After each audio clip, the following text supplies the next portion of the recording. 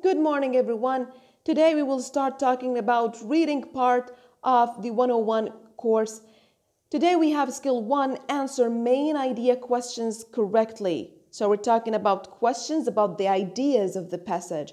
We're not talking about specific details or not talking about vocabulary questions. We're just uh, dealing with main idea questions. Now, skill one, answer main idea questions correctly. Almost every reading passage in the TOEFL test or computer TOEFL test will have a multiple choice question about the main idea of the passage. Such a question may be worded in a variety of ways. You may, for example, be asked to identify the topic, subject, title, primary ideas, or main idea. So, we're dealing with questions that asks you about the topic or the subject, the title, or the primary ideas or the main idea of the sentence.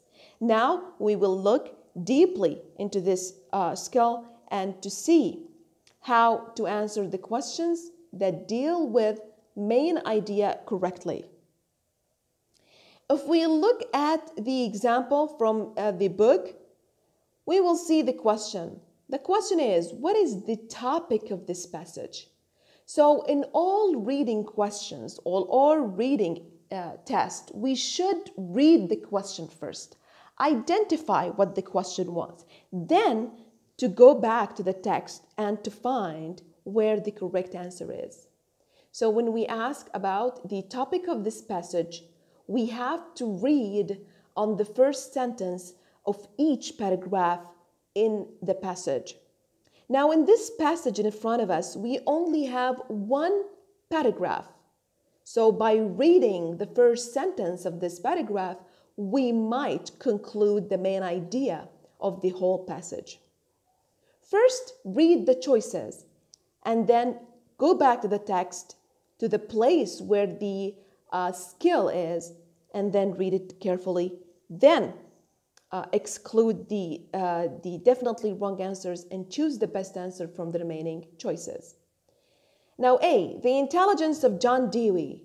B, distinctions made by John Dewey. C, Dewey's ideas on the ability to reason.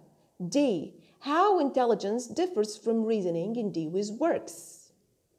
So these four choices are reflecting the ideas presented in the text, but only one of them is the main or the topic of the passage. If you look back, if you look at the paragraph and then we read the first sentence, we see in the philosophy of John Dewey, a sharp distinction is made between intelligence and reasoning. So, a sharp distinction is made between intelligence and reasoning in the philosophy of John Dewey. So is the whole passage talking about only the intelligence of John Dewey? Definitely not. Is the passage only talking about Dewey's ability, uh, ideas on the ability to reason or reasoning? Just like that? Of course not. Because we are talking about the distinctions made between intelligence and reasoning at the same time. Now we only have B and D. Distinctions made by John Dewey or how intelligence differs from reasoning in Dewey's works. Now, B is too general, and it's not talking about the intelligence and reasoning. It's just saying like distinctions are made by Dewey. So Dewey made a lot of things in his philosophy and talked about a lot of things. Can we just say it's they're only distinctions in general? Of course not, because this is not a title. This is the topic of the passage. So the topic is actually more wordy than the title. The title is all is is, is um, short, brief, and precise, and up to the point the whole time. But when we talk about the topic or the main idea, we have to be a little bit more elaborate, and we have to add all the details we might uh, see in the uh, in the topic. So. B, distinctions made by John Dewey is too general and it might work for a title but not a topic in the passage. But when you look at D, how intelligence differs from reasoning in Dewey's works, this is more comprehensive. It deals with all the ingredients mentioned in the first two lines of the passage, and it's definitely the topic of the passage. Now we have another example where we have actually two body paragraphs. Now we're not, we're not dealing just with one small paragraph, now we have two. So if we have two paragraphs in the passage, we have to read the first sentence of each paragraph to figure out the subject or the title of the passage. Now, which of the following would be the best title for the passage? So, if you notice that title is actually um, should be short, brief, precise, and very comprehensive. But when we look at the topic of the passage, it should be a little bit more elaborate and more wordy. Now we have four choices, the process of nitrogen fixation, two nitrogen processes, the return of nitrogen to the air, and the effect of nitrogen on plant life. Let's take a look at the first sentence of each of the two paragraphs. Sentence one, nitrogen fixation is a process by which nitrogen is continuously fed into biological circulation. You look at the second paragraph, the, op the opposite process of denitrification returns nitrogen to the air. So we have nitrogen fixation is a process where nitrogen is continuously fed into biological circulation, and then we have an oppos and the opposite process, which is in denitrification. So can we see, can we say that it is only about the process of nitrogen fixation? The whole paragraph is dealing with only the process of nitrogen fixation? Of course, this is not correct. Are we talking about only the return of nitrogen to the air, which is mentioned in the second paragraph? The whole text is talking about the idea only mentioned in the second paragraph? Of course, it is incorrect. Now we only have two choices two nitrogen processes or the effect of nitrogen on plant life. The word effect, the word plant life is not even mentioned in the first sentences of each of the pa paragraphs in the passage. So we only have one choice that is correct. It is number B or number two, which is two nitrogen processes. We're dealing with two nitrogen processes. This is the best title for this passage because we're talking about nitrogen fixation and then we talk about denitrification. Now, how to identify the question?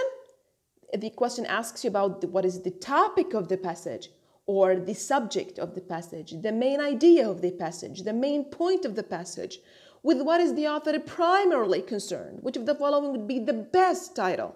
So here we're talking about all of the questions that might be asked, that you might be asking the question, and then you have to answer them exactly the same way we answered the example. So where to find the answer? The answer to this type of question can generally be determined by looking in the first sentence of each paragraph.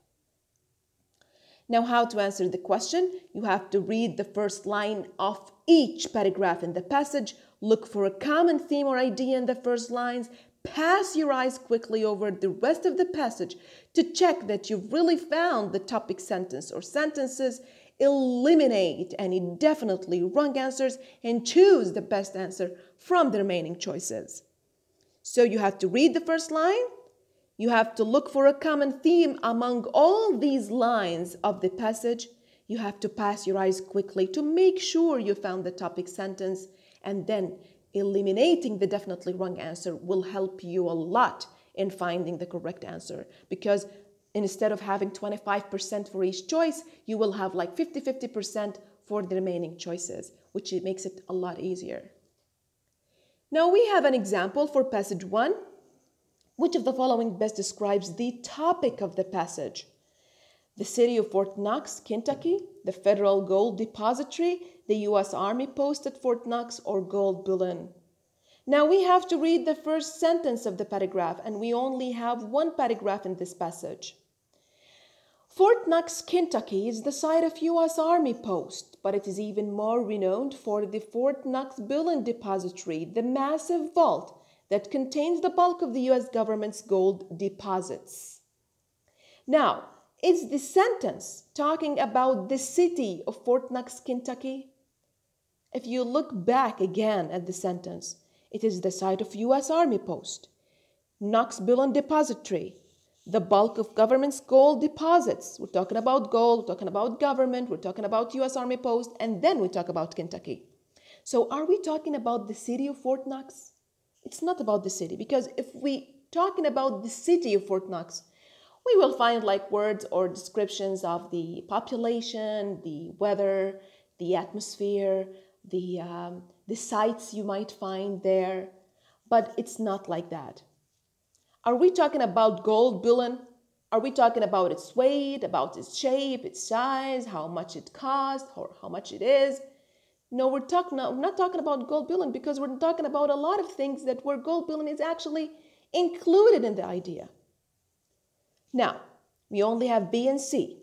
Are we talking about the Federal Gold Depository or just the US Army Post? We're just talking about the sentence actually uh, preceded by the first comma, the site of your Army Post, and you see it's placed between two commas, like this sentence is not even important. So, are we talking about the Army Post? Of course, we're not talking about the Army Post. We're talking about a lot of things because we don't read for the comma, we read until the first full stop, which means this is where the topic sentence ends in the sentence. So we're talking about government's call. We're talking about the US Army Post and the Kentucky and all this stuff. So we're talking about B, federal, which is government, gold, which is the thing that is common and recurrent in the in the sentence, and we're talking about the depository where it's kept. It's kept in Fort Knox, Kentucky. So B is actually includes all of the ingredients mentioned in the first sentence of the paragraph. Now, if you look at two, which of the following would be the best title? Of course, the best title will be reflected from the topic.